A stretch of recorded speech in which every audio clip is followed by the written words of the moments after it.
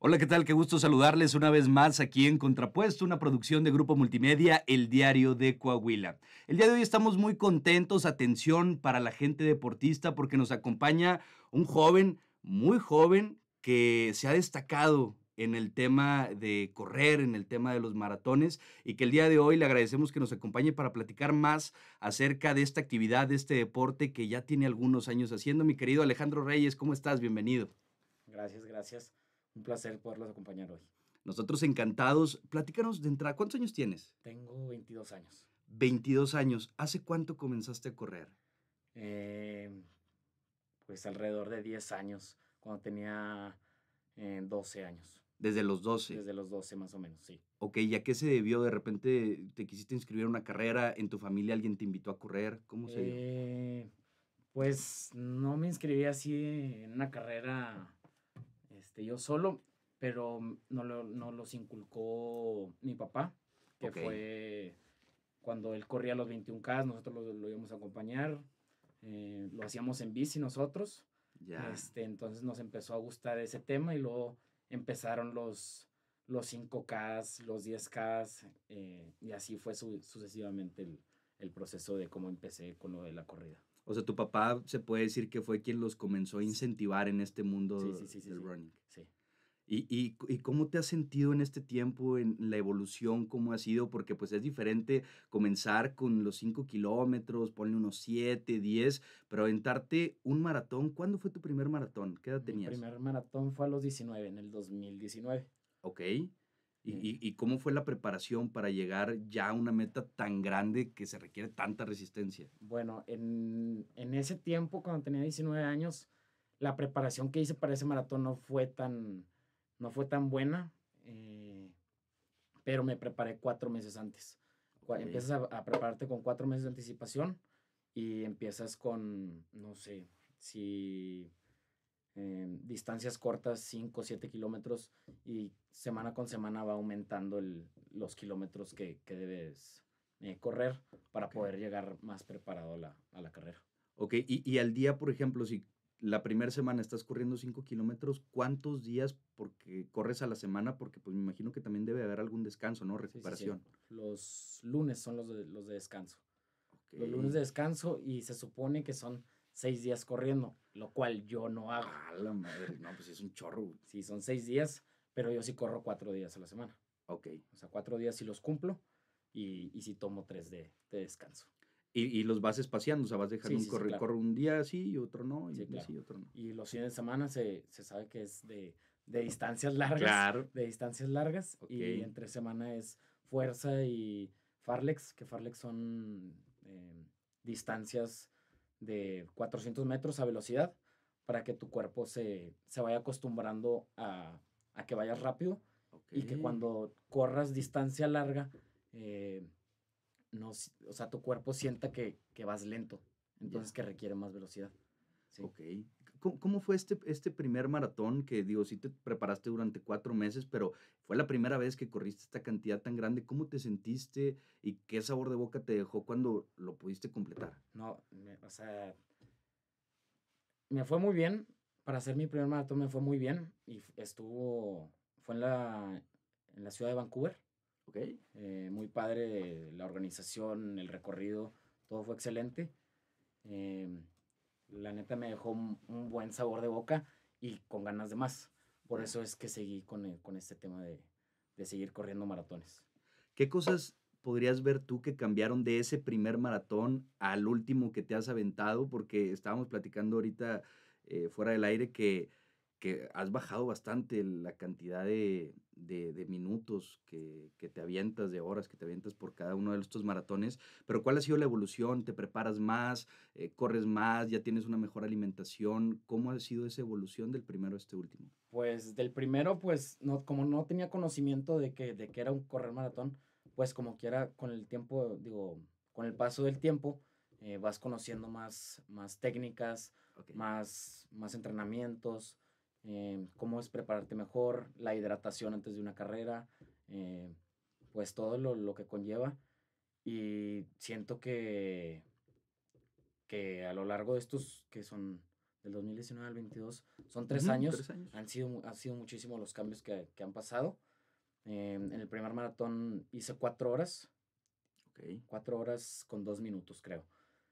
Y este último que acaba de pasar, que fue el cuarto en, el, en la ciudad de San Antonio, eh, tres horas trece, que, que es mucho tiempo el, el- el que se disminuyó. No, está cañón, porque para bajar un minutito, 30 segundos por kilómetro es, es una brutalidad para poder cambiar, para poderlo evolucionar. Y está cañón, ¿cómo te sientes? No, muy bien.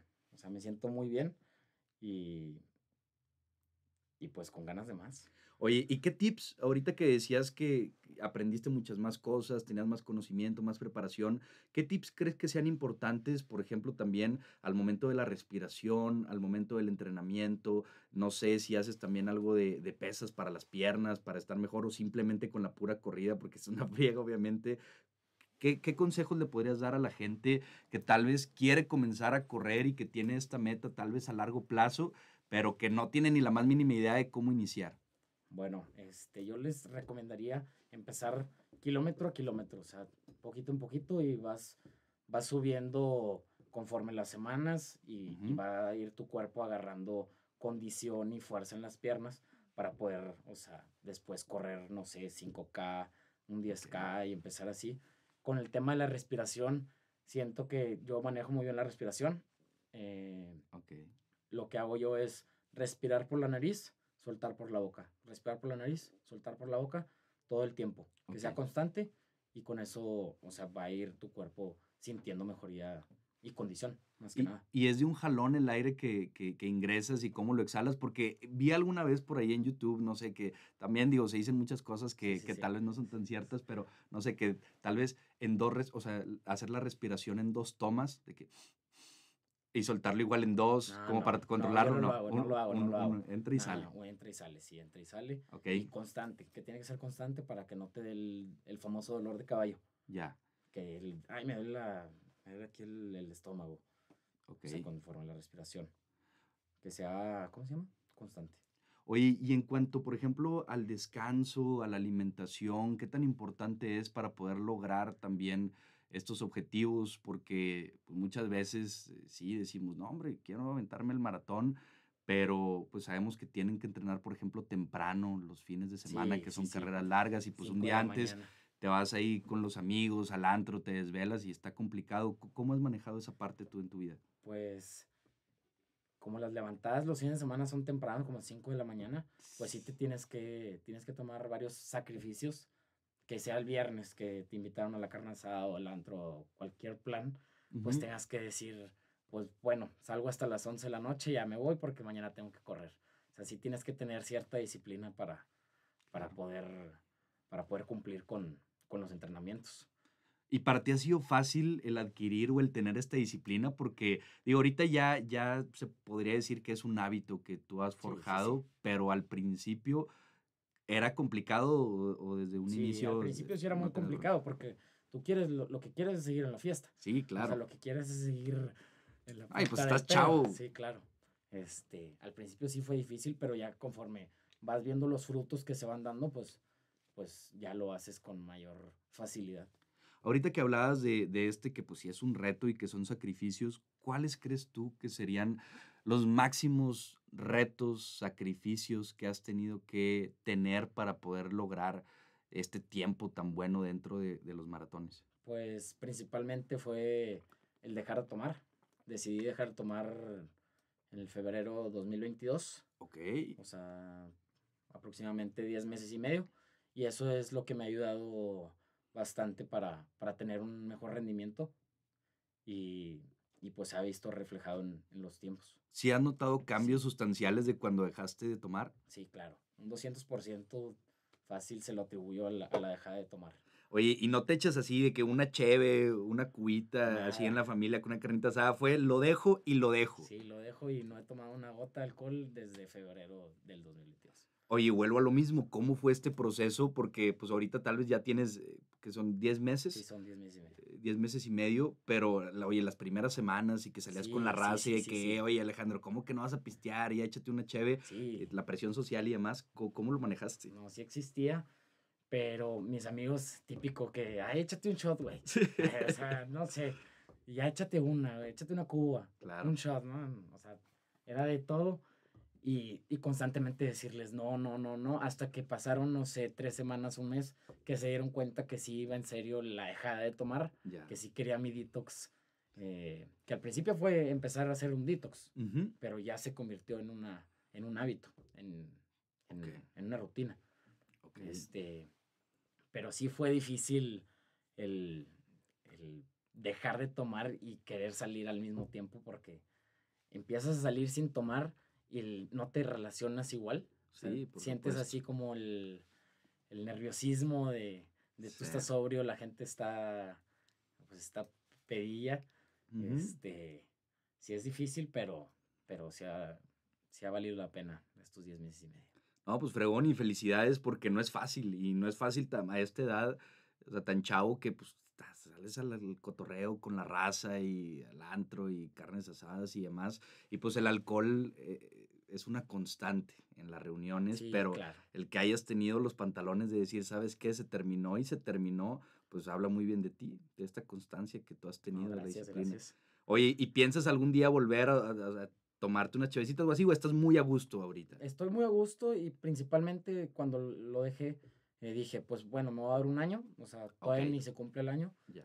Pero ya teniendo estos 10 meses, yo creo que el regresar a tomar no, o sea, no, no, es. una opción. Perfecto. Entonces, no creo regresar a tomar pronto. Después, quién sabe. Sí, no, después vemos, pero por lo pronto. Oye, y, estás muy enfocado en, el tema de, de, correr. ¿Qué es lo que sigue para ti en el tema de los maratones? Porque hemos visto que has hecho bastantes en los últimos meses. Sí, sí, sí. Lo que sigue es en marzo, creo que es 4 de marzo, en la ciudad de Torreón, el Maratón Lala. Ok. Entonces, ahorita estoy descansando, ahorita no estoy, no estoy corriendo, pero ya en, enero empiezo otra vez, que son, ¿qué? Dos meses, dos meses de preparación. Bueno, para mí, o sea, ya... Sí, tú que ya tienes un background Ajá, dos meses y ya en, en marzo el primer maratón, después creo que viene, no sé si es septiembre o octubre, que es el maratón de Saltillo. Ok. Que también lo corrí el, este año. Lo corrí. Sí, sí, lo corrí en. Fue en septiembre o en octubre, no, no me acuerdo. Sí, el, el que hicieron aquí. Fue la primera vez que estuvo aquí en Saltillo. Sí, sí, sí. Fregón. Este estuvo padre, la neta. Porque pasaron por el, por el Museo del Desierto, por el Mirador. entonces, pasamos por todo Saltillo, literalmente. Okay. Porque 42 sí le damos la vuelta a Saltillo. Fácil. le damos. Este. Y luego va a ser Maratón Saltillo. Y en noviembre. Eh, mi meta es correr el de Nueva York. Ok. Y son tres. Por, mi meta en este año son tres. Tres maratones. Tres maratones. Oye, pues es una friega. Y están esparcidos, ¿verdad? Entonces, sí, en están esparcidos. El de Saltillo con el de Nueva York no tanto, pero ya de, del ala, el de, el de Torreón al de Saltillo, sí. Oye, ¿y qué tanto cambia? Porque digo, también se ve nada más el tema de muchas veces los que no conocemos tanto e, este mundo, oye, sí, pues son 42 kilómetros, pero también me imagino que cambia de ciudad a ciudad por la altura, por el recorrido que es, las distancias, la inclinación y demás. ¿Qué tanto influye esto de uno al otro? Muchísimo, muchísimo. Eh, empezando por el clima. Si te amanece un mal día, eh, el, o sea, el día del maratón, te amanece un mal día, no sé si lloviendo, eso perjudica mucho la preparación que tú habías hecho para, para, ese, para ese día. Este, la altura también afecta conforme la, la respiración, afecta mucho y que también puede afectar, pues que si tú amaneces en un mal día, también, si amaneces con una gripa o mm, la nariz tapada y no, pues, no te deja bien respirar, pues también influye mucho. Oye, ¿y cuál ha sido el más fácil y el más complicado para ti por estas cuestiones? Porque si bien es la misma distancia, pues son diferentes cada uno de ellos. Pues para mí el más fácil, no sé si fue el de aquí de Saltillo, eso, y eso que tenía muchas subidas y bajadas. Se me hizo bastante, bastante fácil, por así decirlo. El más difícil creo que fue el de San Antonio, el de el que acabo de correr, que fue en diciembre, porque mm, amaneció con lluvia, lluvia y mucho frío, entonces empiezas se empiezan a mojar los tenis, eh, no, se, se, vuelve muy complicado. Eh, aparte por el frío, también hacía muchísimo frío, entonces sí se volvió muy complicado ese, ese maratón. Sí, no, me imagino que si le empiezas a pasar mal cuando está lloviendo y con frío, a la madre.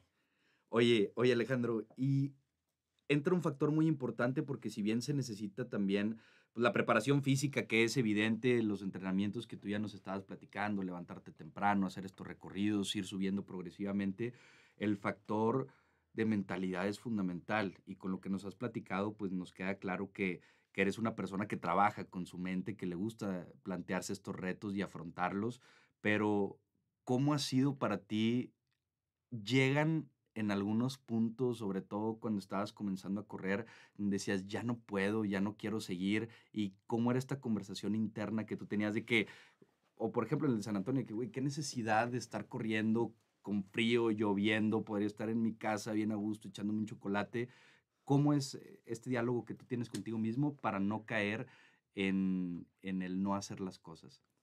Pues la verdad sí es difícil porque la mente te controla y cuando la mente quiere, o sea, decirte, ya párate, o sea, no quiere decir que tu cuerpo ya no pueda, es porque tu mente quiere que, te pares.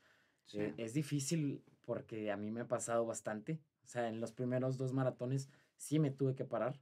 De hecho, en este de San Antonio también me tuve que parar.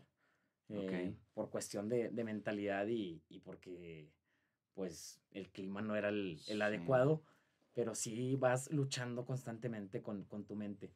Se dice que em, es la barrera de los 30, cuando pasas el kilómetro 30, del kilómetro 30 al 37, es, juega mucho la mente, ya no por el cansancio, sino por, por la mentalidad que tú traes, eh, puede, jugarte, puede jugarte chueco y, eso hace que te pares. O sea, esos, esos kilómetros, 7 kilómetros aproximadamente, eh, son decisivos para poder continuar con la carrera. No, o sea, sí puedes continuar, más... Sí, pero entra en conflicto el, Ok.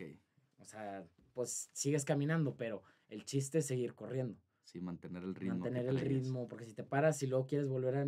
vuelves a querer volver a correr, pues es difícil volver a entrar en ritmo también. Okay. Oye, Alejandro, jamás me he aventado un, un maratón bueno, me lo voy a poner de propósito para este próximo año, pero sí me he echado un 21K, el de aquí de Saltillo. ¿Y qué tan importante para ti es el, el, que la gente esté echando porras y que te estén echando ánimos? Porque eh, sí, ¿verdad? Sí. te da para arriba. Sí, claro. Claro, que te estén gritando y, y tú también gritar con la gente y echarte porras mutuamente. Eh, está padre, la neta. Y sí te, sí te suben los ánimos y, y te y hace que corras pues, pues más y más y más. Sí, me acuerdo en el de aquí de Saltillo que cuando no había gente, pues entrabas en este conflicto con, tu mente de que chin, ya no quiero, ya no puedo, pero de repente había una gran cantidad de personas echándote porras y diciéndote, órale, venga, y luego había un grupo en vivo por allá también tocando y animándote y pues sí te da un boost para poder seguir. Y no, te, y no te paras. Entonces, y sigues corriendo. Es lo padre. Oye, Alejandro, Hace unos meses tuvimos por aquí también a tu hermana Majo, quien le mandamos un, un, fuerte abrazo, también gran corredora. ¿Cómo es para ti el compartir este hobby con tu familia? Tu papá ya lo mencionabas que también corre, Majo corre, tú también. Eh, ¿Cómo es vivir esto también en familia? La verdad me da una satisfacción grande poder compartir lo que nos gusta con mi hermana, que es correr maratones. Los primeros tres los corrí con ella, fue Estuvimos viajando juntos a Chicago, a Vancouver, a... ¿A dónde más? Ah, no, pues aquí el Saltillo. Este, pero sí, satisfacción grande por, por, poder cumplir nuestros retos y que mejor que, que sea en familia. En el tema de entrenamientos, ¿lo hacen muy individual, cada quien con lo suyo, o si van juntos? De repente, de repente. De repente salimos los fines de semana, que son distancias largas juntos, pero ya si, o sea, si no toca la, la, oportunidad, que haz de cuenta que yo digo, no, pues hoy me voy a desvelar, mañana no corro, yo corro hasta el domingo. Ok. Y mi, mi, hermana dice, no, yo tengo compromiso el sábado, yo voy a correr el sábado en la mañana. Ya. Entonces, así, pues, suele suceder, pero si no, corremos juntos. Ok, sí, no, no tienen bronca, dependiendo cómo traigan la agenda cada quien, sus actividades y demás. Sí, claro. Oye, Alejandro, ¿de qué manera ha impactado el tema del deporte en tu vida personal? Porque se requiere de mucha disciplina, de determinación, de enfoque para poder lograr estas, eh, e, estas distancias y en este tiempo tan bueno que tú tienes. pero también pues eso impacta en tu vida, en tu vida personal, en tu vida, no sé, académica, laboral, profesional. ¿Cómo lo has visto tú reflejado? Pues el hacer deporte creo que me ha ayudado a tener más energía, a poder eh, empezar mejor, mejor tu día con mayor pues mayor alegría, por así decirlo, aunque se escucha así medio, medio no, este, también creo que mi físico, mi físico también cambió un chorro. Eh, pues con lo de la dejada de tomar y haciendo ejercicio, bajé 12 kilos, 12 kilos sin hacer dieta, sin hacer dieta, nada más correr y, y, dejar de tomar, 12 kilos, entonces ya me veo más, más fit, por así decirlo. muy bien. Este, pero me ha ayudado mucho. Me ha ayudado mucho el, ejercicio, me ha ayudado mucho. Alejandro, ¿cuáles serían las más grandes satisfacciones que a ti te ha dejado el practicar este deporte? Hablábamos de los retos, de la frega que implica, pero del otro lado, ¿qué es lo que más te gusta? ¿Por qué lo sigues haciendo? Pues me gusta llegar a la meta y sentirme que, que, que sí pude lograrlo. También porque también este, los maratones que he hecho se los he dedicado a alguien. O sea, cada uno se los voy dedicando a alguien. Entonces, por eso voy y, termino con, la carrera. Ya. Entonces, eso también me da gran satisfacción poder hacerlo por ellos. Y me imagino que también esto juega mucho a tu favor al momento de que entra este conflicto mental de decir, bueno, lo estoy haciendo por esta persona. Por él, entonces sigo y sigo y sigo y sigo hasta no terminar.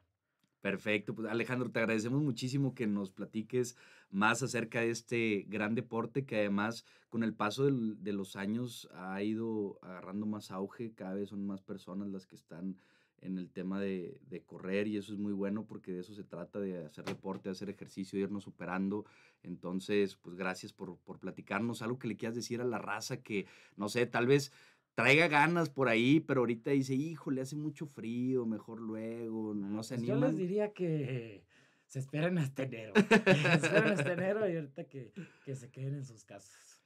Este, y cualquier, y si tienen cualquier duda que me, que me busquen, eh, no sé si si dejo mi celular por, o... Por supuesto, si quieres también tus redes, porque vemos ah, que por ahí tú tienes tu cuenta para donde les podemos dar seguimiento ahí que me sigan ahí en kid.correlón en el Instagram. ¿De dónde salió kid.correlón, Fíjate que los amigos de mi hermano una vez, no sé, también haz de cuenta, estábamos juntos el fin de semana y les dije, no, ya me voy.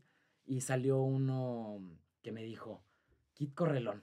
Pero ya me decían Kid, me decían Kid, por niño. Por niño porque me veo niño. Okay. Entonces salió uno y me dijo, ay, Kid Correlón, porque voy a ir a correr mañana. Entonces de ahí se quedó, se quedó, se quedó, se quedó. Y dije, no, pues déjame hago la cuenta que diga Kid Correlón. Correlón. Y desde ahí se quedó. Y ahí está subiendo. Sí, subo ahí. Sí, los maratones, las carreras, pues todo lo que hago. Perfecto. Pues te agradecemos de nueva cuenta que nos hayas acompañado aquí en Contrapuesto. Ha sido un gustazo, compadre, y láncense ahí a la, a la cuenta de Alejandro para que puedan seguir viendo acerca de este proceso y muchísimo éxito en este 2023. Muchas gracias. Y gracias a toda la gente que nos estuvo escuchando aquí en Contrapuesto, una producción de Grupo Multimedia, el Diario de Coahuila. Estamos recibiendo sus comentarios también a través de las diversas redes sociales del diario para que nos escriban. Cuídense mucho, nos escuchamos y nos vemos en la próxima.